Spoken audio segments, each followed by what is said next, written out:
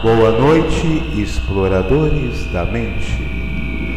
Está começando mais um programa Percepção sem Objeto, com o melhor do rock psicodélico do ontem, do hoje e do amanhã.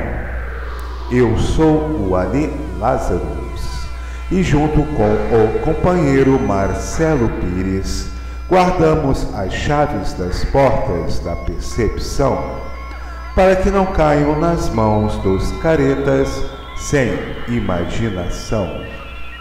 E para começar nossa viagem psicodélica de hoje, vamos até a cidade de Leipzig, na Alemanha, ouvir a banda As the Rooster, que se formou em 2015 um trio instrumental formado por três amigos, que desde seu álbum de estreia apresenta excelentes faixas com alto som de guitarras em fluxo hipnótico muito influenciado pelo crowd rock.